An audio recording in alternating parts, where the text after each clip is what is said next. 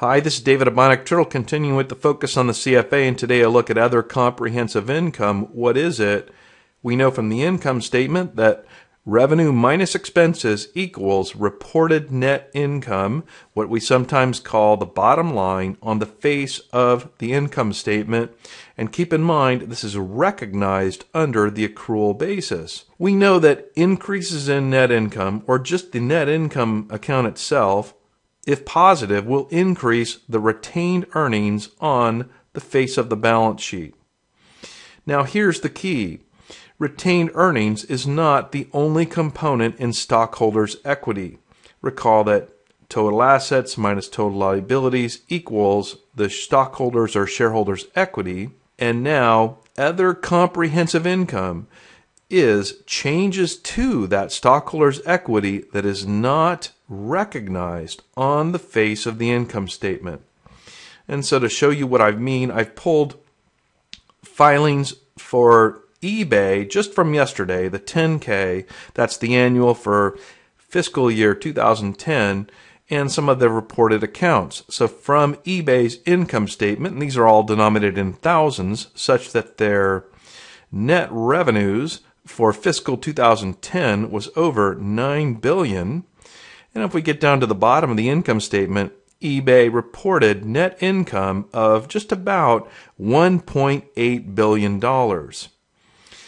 Now, that net income, if we then go look at the balance sheet, so obviously the balance sheet has many lines to it, but I've just pulled two here. At the end of 2009, here was retained earnings, and it grew to 10.16 billion at the end of 2010. That's retained earnings for a change or growth of 1.8 billion. So here we see that direct linkage between the income statement and the balance sheet. The positive net income of 1.8 billion grows the retained earnings account. That's a flow. This is a stock measure. Now, the retained earnings is just a component of total, total, stockholders' equity.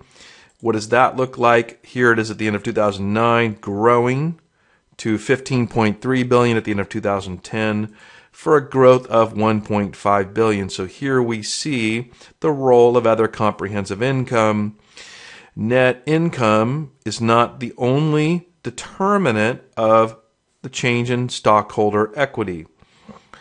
So if we come down here to some selected lines from the statement of stockholders' equity, we can see how this works.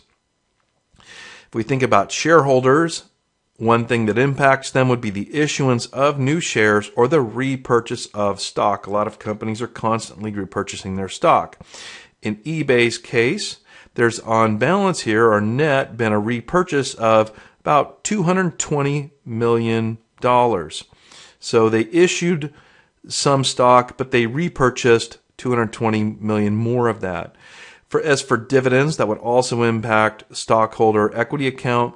eBay has never paid a dividend, so it's zero. Finally, here is our net change in accumulated other comprehensive income. So here's the OCI. In eBay's case, that's a loss of just short of $67 million.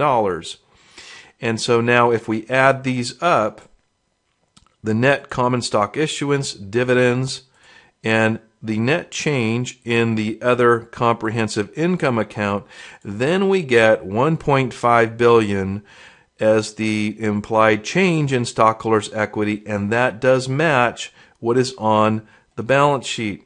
So to put this another way, you can see how net income was 1.8 billion. However, we want to take into account the change in other comprehensive income. And again, these are changes, uh, gains or losses that are not realized or not recognized, I should say, on the face of the income statement. So those contribute to the change in the stockholders' equity account. So in eBay's case, if I move over just one more screen, we can see specifically the breakdown how eBay produced a loss of 67 million in the other comprehensive income account. So that's again a loss that contributes to stockholders' equity but by definition, as other comprehensive income, none of these gains or losses appear, none of these gains or losses are recognized on the income statement. And so, according to the rules, there can be four types of other comprehensive income. eBay is uh, only needs to real uh, realize or report here on three of the four. The fourth is not shown, and that would be a change in the funded status of the company's pension plan, a defined benefit, post retirement plan. So, presumably, eBay does not have that.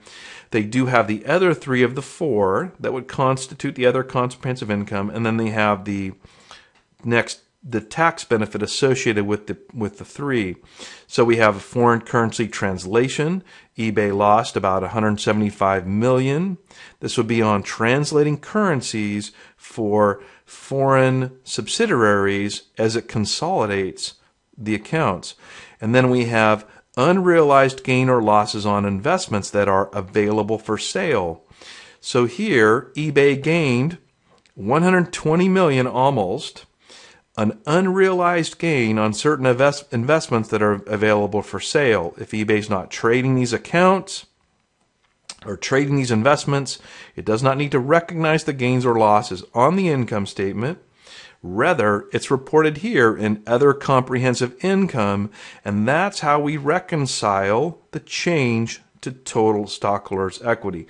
And finally, their unrealized gain or losses on cash flow hedges. So these are derivatives used to hedge. And similarly, a company can gain or lose on certain hedge instruments. It must qualify for the hedge accounting, but if it does, those gains or losses do not need to be recognized on the income statement. They can be reported here in other comprehensive income. So those all get added up. Uh, I'll hear a loss of negative 67 million.